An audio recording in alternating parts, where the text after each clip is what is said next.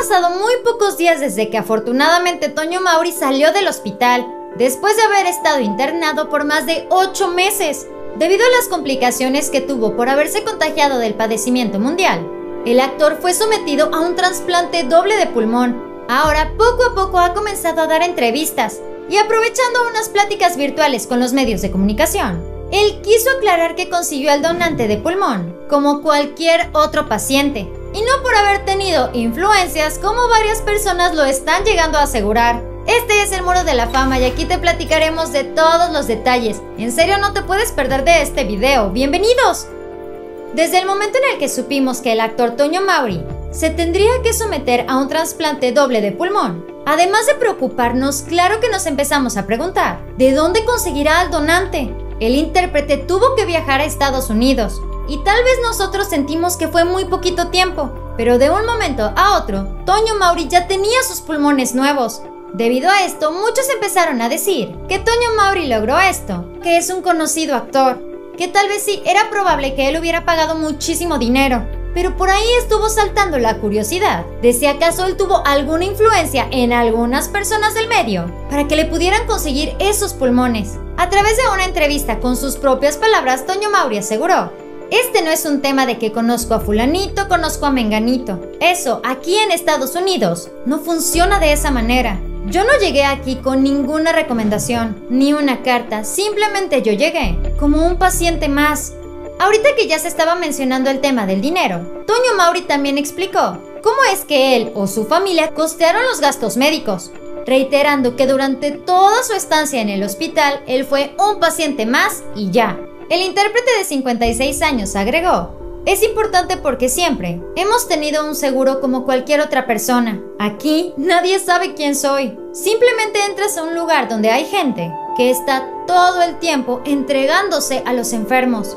El actor también destacó que ni él ni su familia conocen la identidad de la persona que fue el donante o la donante. Aún así, ellos le escribieron una carta agradeciéndole profundamente, añadiendo que esperan algún día poder conocerlos en persona. A través de una pequeña intervención con el gordo y la flaca, Toño Mauri mencionó su agradecimiento hacia esa persona que le donó sus pulmones, dándonos a conocer un detalle muy, muy importante. Esa persona de la cual ni ellos ni nosotros conocemos su identidad, le donó otras partes de su cuerpo a muchas más personas, las cuales gracias a ese héroe sin capa o heroína sin capa, están con vida acerca de todos los meses que estuvo en el hospital. El actor también quiso compartir los momentos tan emotivos que vivió. Él de repente sentía que su final estaba muy cerca y lo único que lo mantuvo en este mundo fue aferrarse a su fe. Él contó que todo el tiempo le pedía a Dios que lo ayudara porque quería ver a sus hijos otra vez, quería ver de nuevo a su esposa. En esa entrevista Toño también aseguró se lo pedí a Dios con mucho amor y cariño y sé que me escuchó, porque Él tiene algo para mí que quiere que yo haga. Y creo que va relacionado a esto, a dar mi testimonio sobre lo que me pasó.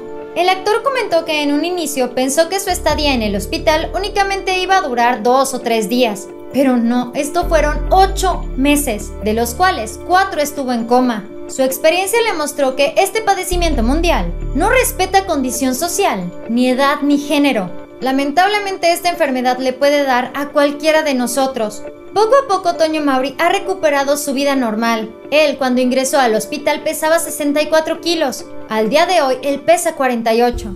Él está tratando de recuperar su peso y movilidad, debido a que por sí solo no puede andar caminando, lo tienen que ayudar. Para finalizar con su entrevista, él dijo que se siente muy feliz al ver cómo sus piernas y brazos empiezan a llenarse. Ahora Toño Mauri se encuentra viviendo en su casa de Miami para poder recuperarse al 100%, sin dejar a un lado los medios de comunicación, dándole a conocer a todo el mundo su testimonio de cómo fue vivir para él esta experiencia. Por esa razón nosotros aquí en el Muro de la Fama todavía te pedimos que por favor te cuides mucho. No te vayas de este video sin antes suscribirte a nuestro canal de YouTube dando clic aquí abajo, al igual que seguirnos en nuestra página en Facebook. Para que sigas checando nuestro contenido, yo te recomiendo que veas este siguiente video. Espero que tengas un excelente día, nos vemos muy pronto. Bye.